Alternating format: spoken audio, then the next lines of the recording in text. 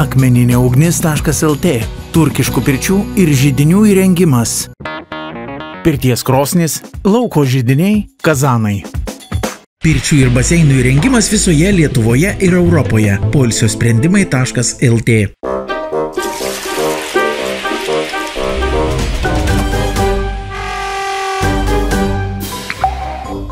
Labas rytas, veikėjai. Visi pirčių mylėtojai žino, kad pirtis yra fantastinė priemonė grūdintis ir stiprinti imuninę sistemą. Tie, kas nuolat lankosi pirtise, peršalimo lygas perserga itin lengvai. Tad jei dar neįtraukėte į savo savaitės planus bent kartą nueiti į pirtį pasišildyti, tai jau metas būtų pradėti tai daryti. Gal ten koronavirusas neužeis? O netrukus laidoje kaip pirtis padeda sportininkams pasiruošimo ir po varžybinių metu. Laidos svečias - kickbokso čempionas Sergejus Maslobojevas, pravardė Kuvalda. Man tai yra pastovus ritualas, kiekvieną sekmadienį aš tengiuosi būtent tai ir daryti. Ir Albertas Kašėta, pirtininkas, daugkartinis graplingo, sambo, brazilų didžiutsų pasaulio bei Europos čempionas. Be to šios laidos pirtyje karaliaus kukurūzai. Jums tikrai nepasigirdo. Profesionalios pirtininkės Birutės Masiliauskinės patarimai. Kas kas, bet kukurūzas tai pirti tikrai niekaip negali. Nieko gero nuveikti ir nieko malonaus nepadaryti. Pasirodo, gali. Jau pasakojome, kaip pirtis padeda sportininkams padaryti svorį. Šiandien rekomendacijos, kaip pirtis gali tarnauti sportininkams prieš ir po varžybų. Šią metodiką gali pasinaudoti ne tik sportininkai, bet ir visi, kas aktyviai sportuoja, o kitą dieną jaučia lengvą raumenų skausmelį. Labas rytas, pirties mylėtojai. Labą rytą. Šios laidos tema - kaip pirtis padeda sportininkams atsistatyti savo jėgas po varžybų. Ir po sunkių treniruočių. Teisingai. Taigi mes turime šiandieną čempioną ir turime profesionalų pirtininką, taip pat čempioną ir šiandieną mes išsiaiškinsime, kaip pastatyti jėgas pirtį. Sveikas, bičiuli! Labas. Gal galima sužinoti, kas tu toks? Pažiūrėkite, prašom, į mūsų žiūrovus. Jūs žmonos pasiklauskite, jinai geriau žino. Taip. Čia yra Sergejus, pasaulio kickboxingo čempionas. Tik tiek. Tik tiek. O šiandieną... Kuvalda. O, O, taigi, pas mane šiandien visi bijo šią pirtyje. Taigi, šiandieną Sergejau mes tau padėsime atstatyti jėgas. super. Ar tai yra ta naujiena? Ne, man tai nėra naujiena, man tai yra pastovus ritualas, kiekvieną sekmadienį aš tengiuosi būtent tai ir daryti. Po alinančių treniruočių, besirašant ypatingai besirašant varžyboms, pailsinti ir kūną, ir atstatyti moralinę savo Svarbiausia, jo, smegenis smegenis, jo, jo. Taigi, turime žmogų, kuris iš tikrųjų teisingai elgėsi pirtyje ir šiandieną mes turėsime reikalą su visapusišku profesionalu. Tiek sporte, tiek pirtyje. Ačiū. Prieš varžybinėme cikle pirtis gali būti naudojama kaip e, pasiruošimo vienas iš etapų varžyboms. O pasibaigus varžybų po varžybinėme cikle, jinai naudoja na, kaip puikiai atsistatymo priemonė. Albertai, iš ko susideda procedūra, kurios metu mes atpalaiduosime sportininką, kuris ką tik po varžybų sugrįžo pas mus į pirtį? Na, pirmiausiai, tai aš rekomenduoju naudoti vantas. Tai Ir mes sportininką galime su jomis sušildyti, padaryti įvairius masažo elementus, įvairius tempimus, įvairius netgi volavimo į, pratimus. Ir Nu, čia, sakykime, tradicinė pirties procedūra, ne? Taip. Bet ar yra koks nors išskirtinumas, pavyzdžiui, dirbant su sportininkais, kurie iš tikrųjų turi tam tikrų niuansų, ne? Tam, Taip. jeigu štangą kelia žmogus, ne? Dirbam tikriausiai su, su kuriais, konkrečiais, ne? nu, su konkrečiais, taip, jeigu sportininkas kažkokia yra, e, kažkokios įtampos yra, daugiau akcentuojame tų raumenų e, iš, išmasažavimą, naudojama vėlgi, jeigu tai yra e, kažkokia mikrotrauma, netgi naudojama kontrastinės procedūros, tai yra po, po vanojimo, po šildymo naudojama ledo Tai čia sniego. Ser- Sergejui konkrečiai labai tiktų, kadangi Taip. jisai kovinis sportas yra, tai yra įsigauna nemažai Taip, smūgių. Taip, kadangi pa- patiria daug, daug iš tikrųjų smūgių, netgi treniruočio metu inten- pasiruošimo etapą, sparingai vyksta ir dėl to sportininkams tai yra aktualu, kaip tas, kaip tą skausmą. Tai pirmiausiai e, mes šalinam ką? Skausmą. Žmogus ateina tikriausiai kaip ir kiekvienas, bet sportininkas ypatingai ateina, sako, gavau Jo. truputėlį čia taip, Jo. prasileidau ir tada sakai, o, aš tau pašildysiu tą. Po Šildo, to eina tikriausiai visos ir, ir, ir, ir sausgislės, ir visi kiti tie rimti dalykai, sporto, sportininko visas. Taip, taip, mes viską iššildom ir pažeista kažkokią tai vietą, skaudančią mes tiesiog naudojam kontrastą, ledą, Mhm. sniegą. O kodėl kontrastas, pavyzdžiui, ne, ne, ne, Nu, neiššilimas? kadangi jeigu tai trauma įvykusi arba trauma, arba paprasčiausiai koks pa- patempimas Mhm. iš vėžės, tai yra 24 valandų laikotarpį, pirmai rekomenduoju šaldyti tą vietą. Nekaitinti geriau. Nekaitinti jo, nes kad ne, ne, nesivystytų uždegimas, mes tiesiog šaldome tą konkrečią vietą. Tai sakysim, smūgio vietas mes šaldom, Jo. kit, o kito, kitas vietas mes galim tiesiog Galim, galim daryti ne? kontrastą darome, bet vėlgi po šildymo vėl atšaldome, dedam kažkokį tai led- ledo šaldančio kompresą ir tą vietą šaldom. Tai vėl galim šildyti, yra kontrastinė procedūra, pagėja kraujotaka ir viskas greičiau, greičiau Ar žmogus. paprastai, o sakysim, jeigu pirties nėra, kur galima, ar tokią procedūrą iš vis įmanoma padaryti? Tiesiog sudėtinga, manau, taip? Nu, be pirties nelabai, aišku, galima kažkiek, kineziterapeutai daro kažkokį, bet tai, tai yra ma ma mažas efektyvumas, nes kūnas nebūna iššilęs. Mes dabar matome, Sergejus dabar guli jau pirtyje, jis tiesiog išsiskiria Jis praktikas. idealiai prakaituoja. Kū- Kūnas šiltas, jis, jis, jis netgi morališkai atsipalaiduoja. Na, Nereikia galvoti apie, apie treniruotės kovas, jis dabar mėgaujasi šią pirties šilumą. O kaip gali neatsipalaiduoti, kai vanto aromatai užpildo pirtį fantastiškais kvapais, kai temperatūra pirtyje siekia vos 60 laipsnių, kaip ir drėgmė. Ir toks pirties klimatas yra labiausiai tinkantis mūsų organizmui, kai esi vanojamas keturiomis rankomis ir tavo smegenys jau nebesugeba sekti pirtininkų judesių, kai malonumas pasiekia piką ir tau nesinori, kad tai kažkada pasibaigtų. Šitą mes Sergejai ruošiam naujam pasaulio čempionatui. Ir mums turi 30 procentų medalio priklausys. Ar taip, Sergejau? Aha. Patvirtinimas gautas. Čia vanodamas aš naudojame kaip ir paprasčiausiai vanojimo procedūroje kompresai. Tai yra e, tokias įtemptas, įtemptus raumenis mes atpalaiduojam, dar papildomai sušildom ir pamasažuojam to pačiu būdu. E, po to mes galime pratesti tuos kompresus tiesiog visą, visą kūną iš, iš, iššildyti. Mes pašildom vantas, nuleidžiam šilumą ir tiesiog atliekamas toks kaip ir masažas vantų.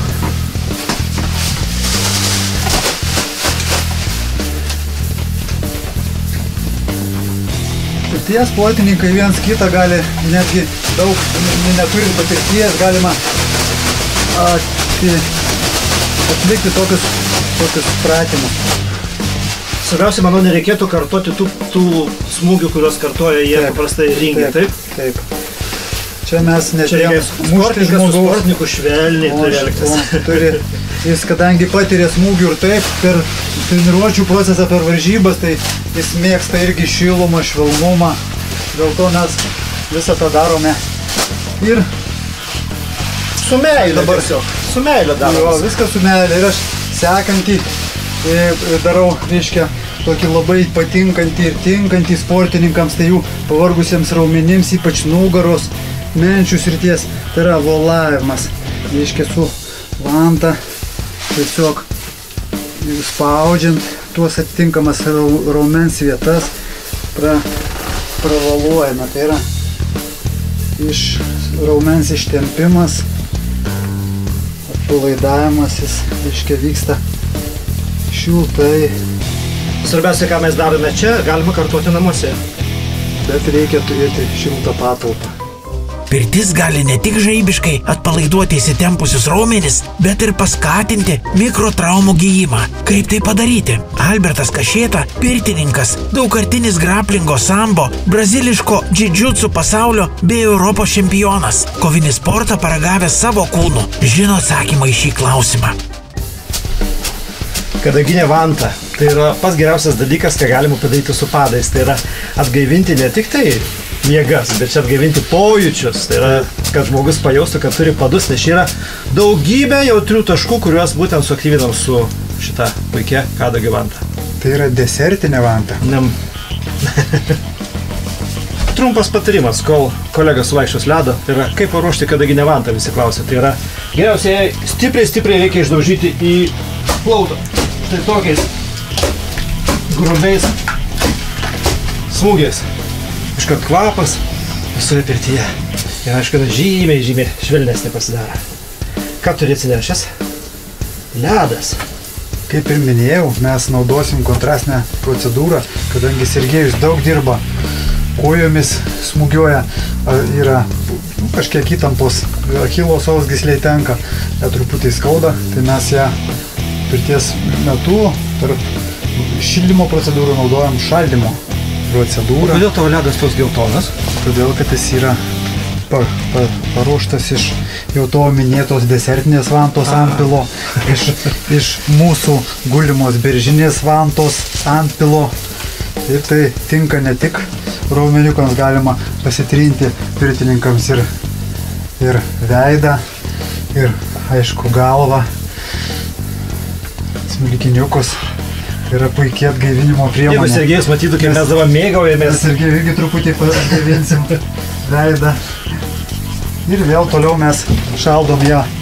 Jo, O aš tuo metu pažiūrėsiu, ar Sergejus turi dar kažkokius likusius pojūčius. taip. Ir jinai dar ir kvepia. Ai, dar viena pėda liko?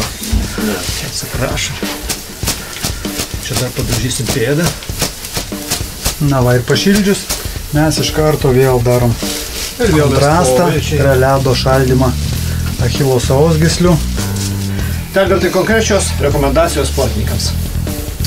Aš rekomenduoju sportininkams pirmiausiai po sunkių treniruočių. Tai yra pirtis, kontrastinės procedūros, jeigu skaudančios yra skaudantis raumenys, kažkokios vietos pažįstos, ledas, šaldymas ir vėl kontrastinė procedūra, šildymas.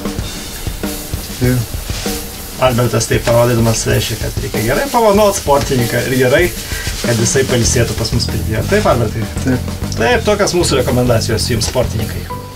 Jau minėjau, bet pasikartosiu. Mes džiaugiamės, kad pirtis ir profesionalūs pirtininkai gali padėti sportininkui saugiai ir su malonumu padaryti svorį, kokybiškai pasiruošti varžyboms ir padėti atsigauti po jų, siekti pergalių ir taip garsinti Lietuvą.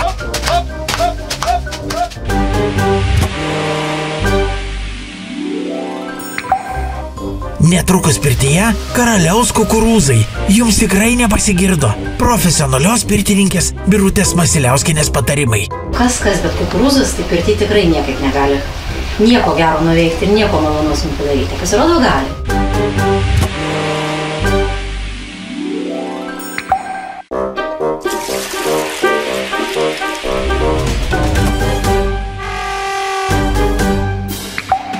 Labas rytas, mėly Vantos lapų žiūrovai.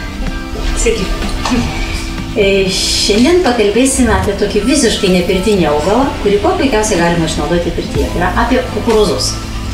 Na, atrodo jau kas kas, bet kukurūzus tai pirtyje tikrai niekaip negali. Nieko gero nuveikti ir nieko malonaus mums padaryti. Pasirodo, gali. Iš tikrųjų, svarbiausia truputėlį įjungti fantaziją, na ir pamatysit, kad galima netgi ir tą tokią keistą peraugusią žolę kažkaip, na, pritaikyti pirties procedūrom. Taigi, kas yra kukurūzas? Tai yra tokia didelė žolė, žmogų didesnė, na, javas tiksliau.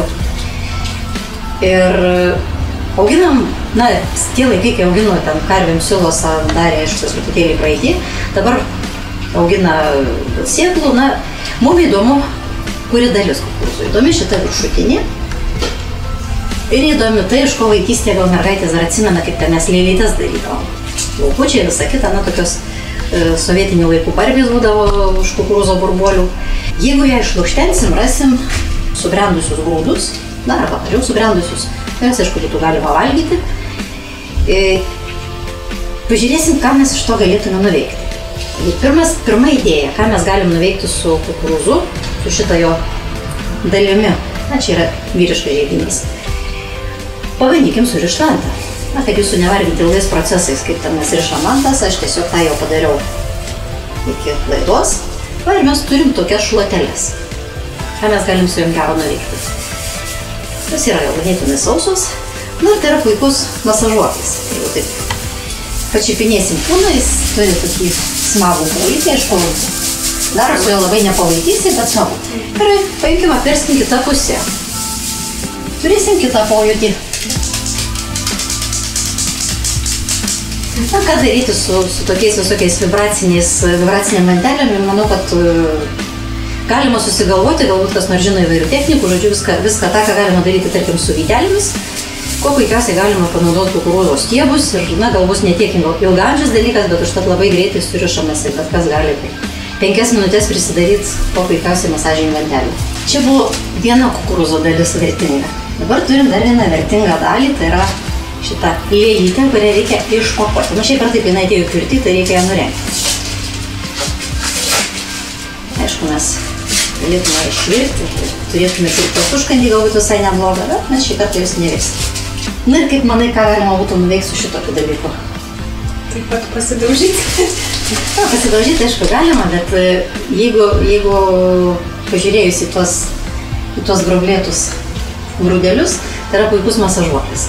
Na, jeigu visai bus tokia dar nepribrendusi, gal tada bus ir kiek mažiau, bet dabar yra ganėtinai, ganėtinai neblogai sulokusi, ganėtinai tvirta, jas galima pasidėti ir šiek tiek jo. Na ir galima daryti vėlgi viską, ką, ką darot su įvairiais masažuokais. Sprandui, nugarai, kojom, rankom, na jeigu turi daug žmonių pirtyje ir jie visi ten nuvažiavę, gali tiesiog duoti, kad rankytės pasimasažuoti, pavyzdžiui.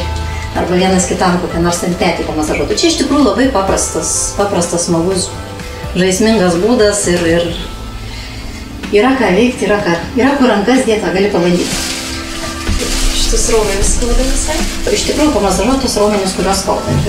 Ko puikiausiai galite patys. Galima pėdutės pamasažuoti. Na, petukas, aišku, galima. Galima pakočioti. Galima ir dvi burbuolės intoksų. Galima ir patrinti, nes jis turi tokią įdomią tekstūrą, na šiek tiek ir iš to paties kukurūzo. Visokių gerų medžiagų galbūt paklius. Vaikam duokit tų kukurūzų, pamatysit, sukurs tokių metodikų, kad gyvenime nesapnavot. O jeigu kukurūzai jau neauga, arba tiesiog neradot, arba tiesiog jums nereikia tų burbuolių ir turi tiesiog vantas ir kažko eksperimentuoti nenorit, visą laiką kukurūzai auga parduotuvėje. Tai yra kukurūzų kruopas. Tai yra puikiai pirties priemonė, puikus šveitiklis, bet būtent tai yra šveitiklis. Tiem, kurie visą laiką skundžiasi, kad jiem nepakanka pojūčių, kad jie nori ko nors tokio stipresnio, aštresnio, daugiau, nu, tai va kukurūzų kruopas. Jeigu labai aštrių pojūčių norite, tada naudokit sausas. Bet, bet kokia atveju jas reikėtų naudoti ant gerai iššilusios, tikrai gerai išmirkusios odos, kad norisi kasytis. Ir tai yra rimtas dalykas. Nes jeigu oda bus nepakankamai iššilusi, jūs ją užalergizuosit ir paskui sakysit, futė kukurūzai. Ne, kukurūzai ne futė. Reikia tiesiog surasti tinkamą momentą. Na, vis dėlto manyčiau, kad geriausiai būtų mm, naudoti nesausas kruopas, nes reikėtų truputėlį sudrėkinti. Kuo sudrėkinti? Na, paprasčiausias dalykas tiesiog šiltų vandenį. Kitokios smėliuko konsistencijos. E, bet galite ir ką nors kito, galite gyros, galite arbatos kažkokio žalelių nuovirų. E, galima paimti, na tarkim šiuo atveju aš paimsiu apelsinų sultis. Labai gražiai dera geltoni kukurūzai, geltonas apelsinas, žodžiu, malonus aromatas.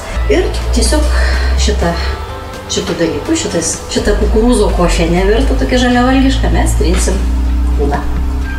Tiesiog įmam apelsiną ir, ir išspaudžiam. Kiek to skiščio reikės sunku pasakyti, čia, kaip sako, mokslinio baksnuojimo metodu, kol gausim teisinga, teisinga konsistencija. Nu, galima, galima truputį apelsinų, truputį vandens šilto, kaip jums atrodo tuo momentu teisingiau, ką turit po ranka. Šitas vanduo duoda tą malonų jausmą, kad šveitiklis nėra šaltas. Na, kažkas, kažkas panašaus. Apelsino kvapas irgi nu, toks duoda geltono pojūtį. Kadangi geltonas kruopas, geltonas apelsinas, tai labai taip harmoningai dera. Na, aš manau, kad daugiau mažiau teisingai, na ir būtų gerai dar palaikyti kokią 5 gal 10 minutėlių, šiek tiek, šiek tiek tos kruopos suminkštėtų, nes turim merginą su jautria oda, ne, ne tokį vyrą, kuriam reikia labai aštrių pojūčių ir nunertą odą. Bet truputėlį suminkštės bus visai gerai. Nu ir tiesiog mes tave patrinsim, pašveisim, seną kailį numausim. Kaip matote, tam, kad jūsų pirtis būtų įdomi, sveika ir naudinga, reikia tik fantazijos ir natūralių produktų. Žiūrėkite, mokykitės ir nebijokite eksperimentuoti, atrasdami tas priemonės, kurios jums labiausiai tinka ir mėgstate. Ir dabar galime nuprausti prieš atversdami, jeigu šveisim ir kitą pusę, tiesiog, kad nebūtų kieta gulėti, kad nes tie grūdeliai pakankamai badosi, laikyti šito dalyko tikrai nėra būtina. Na, jeigu nori pagulėti žmogus, tegul pagulė, nieko tokio, bet iš tikrųjų išliekamosios meninės vertės didelis tas dalykas neturi. Mes tiesiog pašalinam negyvas odos lastelės, kuris atmirko ir atsisloksnelė. Na, kad būtų oda švari, šviežia ir graži, spindinti. Paskui va galim ir kažkokią kaukę tepti. Bet iš principo, jeigu mes maišom kukurūzų kruopą su kažkokiam sultim, gal lašelis aviejos kartais net tokio ypatingo noro ir ne, nebus, kad, kad kažką tai dar daryti labiau. Užteks ir to. Bus tiesiog geras, švaros pojūtis.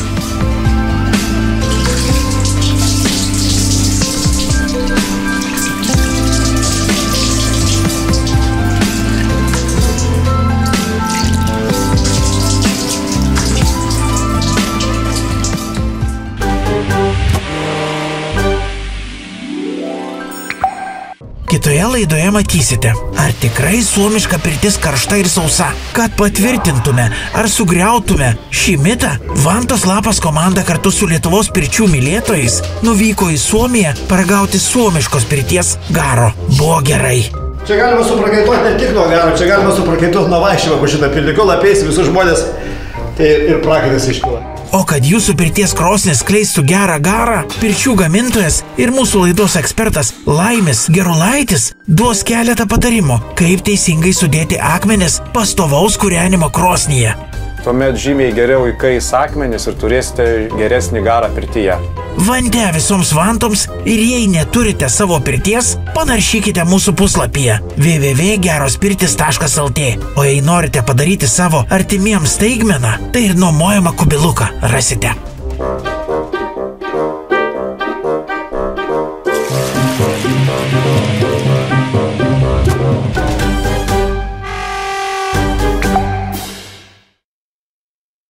Akmeninė ugnis.lt Turkiškų pirčių ir žydinių įrengimas.